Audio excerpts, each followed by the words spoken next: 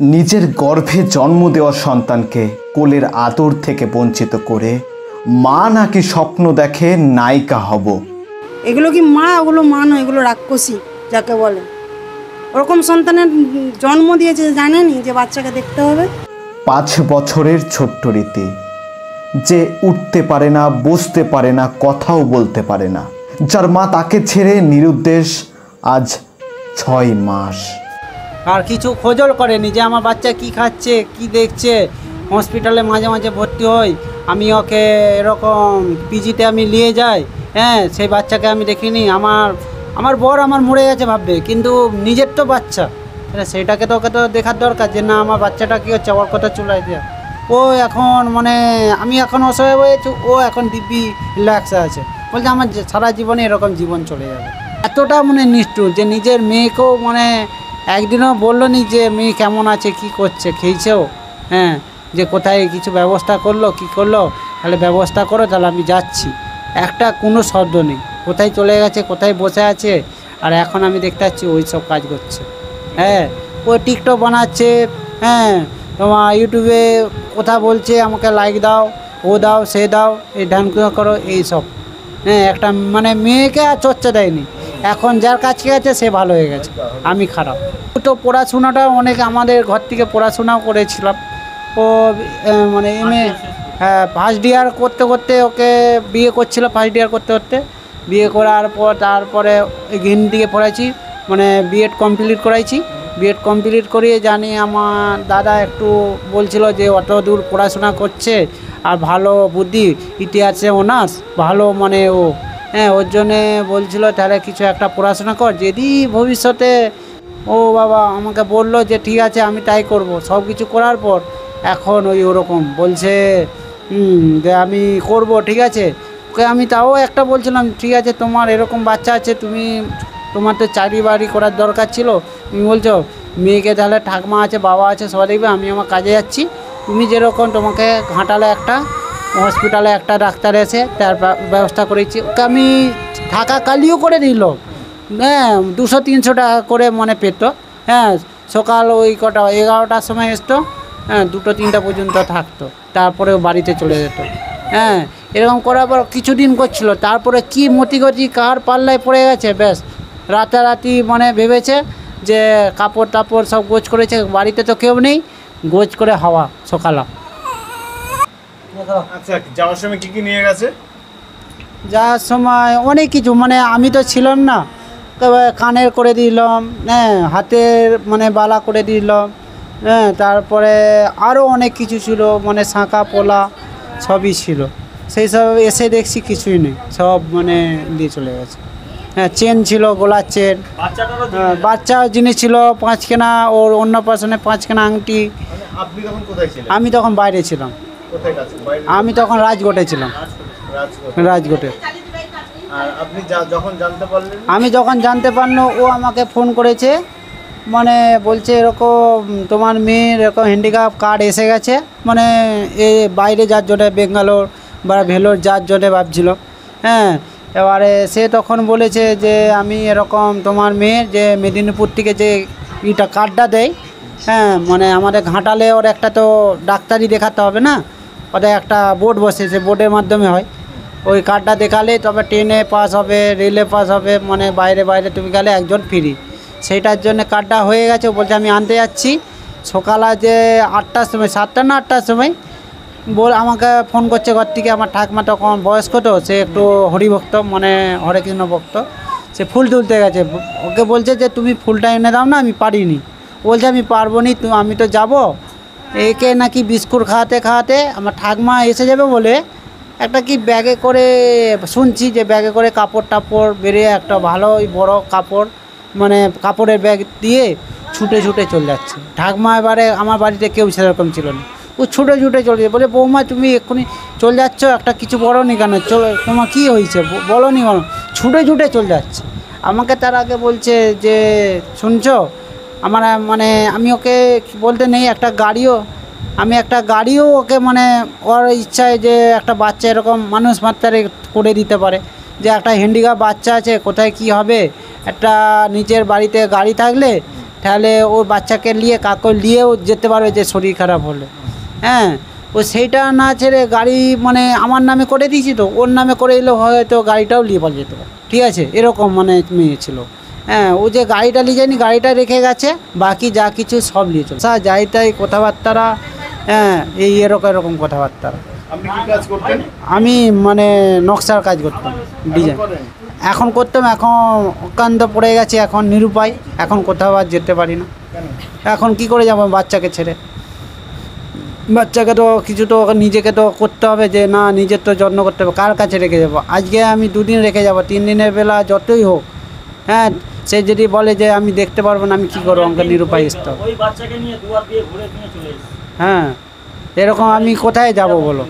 হ্যাঁ। সারা রাত্রি বাবা মা? কি হয়েছিল একদিন? ও বাড়িতে নিয়ে গেছিল ভূতা চাইপাটে ওর যে আসল বাড়ি ওখানে দুয়ারে সারা রাত্রি দুজনে বসেছিল। বসে থেকে আবার অসহায় কি করবে? আবার নিয়ে এসছে গাড়িতে করে। ওই মেয়েকে গাড়িতে স্কুটি করে আনা যায় বলুন? ওরকম করে এনে আবার এদের ঘরে একটু আশ্রয় পেয়েছে। মানে এরকম করে। এইটা মানে বাবা এবারে কলকাতায় চলে গেছিল কি করবে? এবারে সে বলছে আমি তো এরকম লানিকে দেখতে পাইনি আমি কি করব? আমারও শরীর খারাপ। এবারে এখন কি বলছে? বলছে তুই এরকম অগ্নে থাক হ্যাঁ আর এরকম যেখানে আছে ওকে দেখ আর তারপরে আমি ব্যবস্থা করব। ব্যবস্থা করে তারপর তোকে আমি বাড়িতে নিয়ে আসব। এরকম এখন মানে উপায় নিরুপায় এখন। আপনারা দেখাশোনা করছেন? হ্যাঁ দেখাশোনা আপনাদেরকে অনেক ধন্যবাদ কারণ আপনারা এগিয়ে এসেছেন হ্যাঁ? কি বলবেন আপনি? কি আর বলব? ছোট বাচ্চা দেখতে হবে। আমরা তিনজনেই দেখাশোনা করি আর কি। আপনাদের বাড়িঘর তো ছোট্ট একটা বাড়িঘর তারপরে এত বড় আপনাদের মন। হ্যাঁ, কিন্তু আপনারা কতদিন বা রাখবেন? আমরা ওইটাই তো একটা ভালো জায়গায় থাকুক ও সুস্থ হোক আমরাও এটা চাই। ও একটু ভালোভাবে কথা বলতে পারুক বসুক হাঁটা চলা করুক আমরাও চাই এমন একটা ব্যবস্থা করল। এটুকু নাহলে ওর বাবা বসে রয়েছে ওর বাবা বসে থাকলে আমরাই নিজেরাই চালাচ্ছি। ওর বাবা বসে থাকলে কি হালে ডালে ঘুরলে কি আর সে দাঁড়াতে পারবে? সে কোনোদিনই দাঁড়াতে পারবে না। কোনোদিনই দাঁড়াতে পারবে না। একটা ছেলের হাতে এই যে পুজোর সময় একটা ছেলের হাতে পয়সা না থাকলে কীরকম হয়? আমরা বুঝতে পারছি সেইটা। আমরা বুঝতে পারছি একটা ছেলের হাতে এইটাই যা। আর কিছু বলার নেই। ও তো বলে মাঝে মাঝে আমি এরকম মেয়ে থাকতে আমি কি করব? সুসাইড করে বলব আমি যে এইসব জীবনে কাজ করিসনি যা হবে চেষ্টা করছি দেখা যাক কত কত দূর যায় হ্যাঁ এই ঘর ওই ঘর করে থাকছে এখন কি করবে? হ্যাঁ। না ওই ওই ওই সমস্ত চিন্তা ভাবনা একদম মাথায় আনবে না যেটা হয় ভালোর জন্য হয়।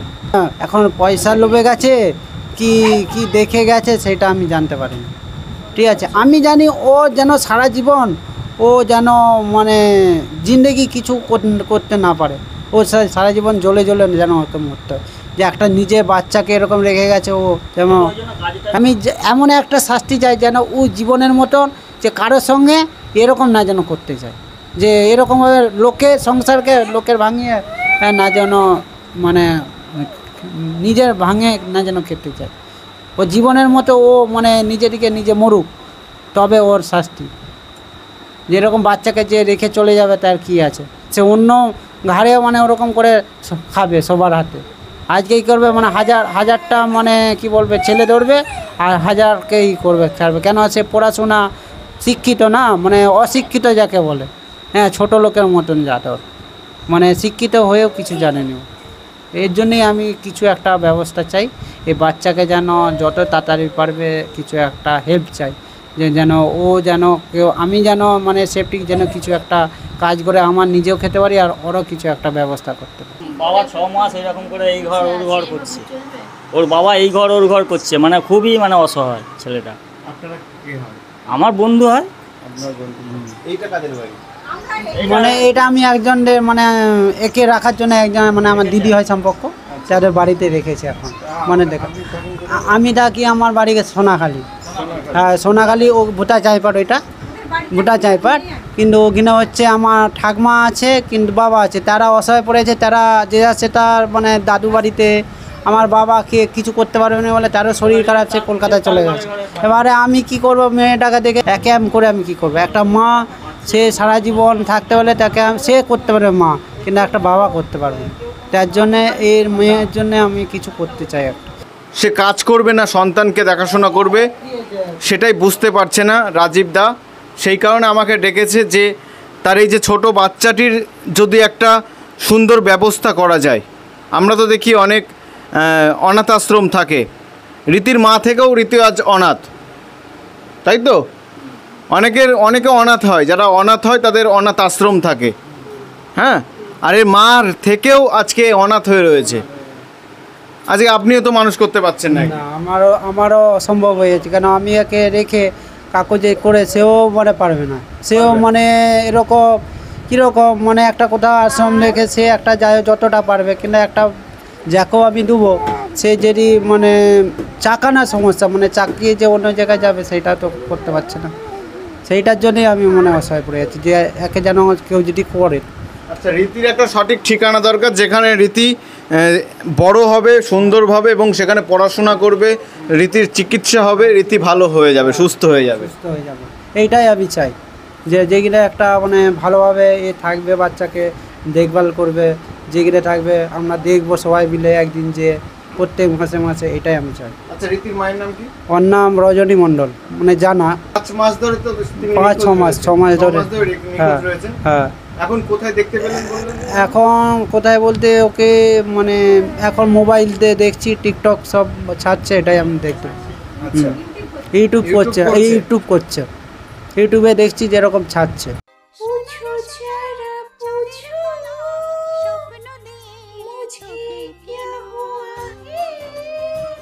একদম আমরা চাইব যে ও একটা সুস্থ স্বাভাবিক জীবন পাক। সেটা যেভাবে সম্ভব এই আর কি। অবশ্যই দরকার। কেন বাচ্চা অসহায়? এই বাচ্চাকে অসহায় বাচ্চাকে দেখার জন্য লোক চাই অবশ্যই দরকার। বাবা কত দেখবে? বাবা পরিশ্রম করবে না ওই বাচ্চাকে দেখবে? অবশ্যই দরকার। হ্যাঁ আমরা পাড়া প্রতিবেশী। আমরা পাড়া প্রতিবেশী। বাবাকে তো রোজগার করতে যেতে হবে। তাই তো। বাবা না রোজগার করলে বাচ্চাটাকে দেখবে কি করে ক্ষমতা হয়ে আসবে কী করে। ওর মা তো খুবই মানে এত নিঃস্ব মানে বলা নেই এরকম মা হয়নি কোনোদিনও। এগুলো কি মা? ওগুলো মা নয় এগুলো রাক্ষসী যাকে বলে। ওরকম সন্তানের জন্ম দিয়েছে জানেনি যে বাচ্চাকে দেখতে হবে? আপনি কি বলতে চাইছেন? আমি বলি যে একে কোথাও রেখে যেন সুস্থ বলে থাকে এরকম আমি একটা চাই যে কোথাও রেখে একে যেন সারা জীবন মানুষ করে, সবাই যেন থাকে, ভালো থাকে। হ্যাঁ সারা জীবন। আমি কি করব? আমার তো অসহায় পড়ে যাচ্ছি। না খেতে পাচ্ছি, না টাইমে কিছু করতে পারছি না কাজে যেতে পারছি আমাকে তো কিছুটা নিচেকে তো নিচে বাঁচতে হবে না।